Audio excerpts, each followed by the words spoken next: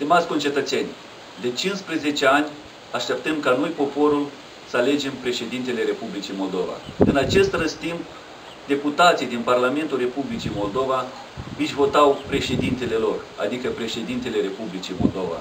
Noi avem unica șansă, că să nu mai permitem deputaților să-și aleagă președintele care să reprezinte doar pe ei, să ne alegem noi președintele nostru, care să ne reprezinte pe noi cetățenii, să ne reprezinte problemele noastre care le avem în fiecare localitate.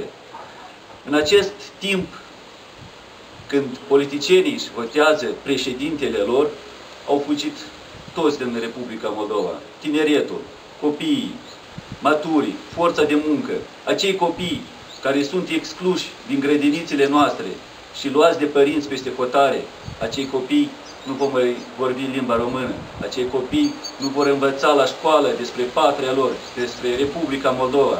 Ei vor învăța și vor fi educați de o altă națiune. Și acei copii niciodată nu se vor întoarce la patria lor.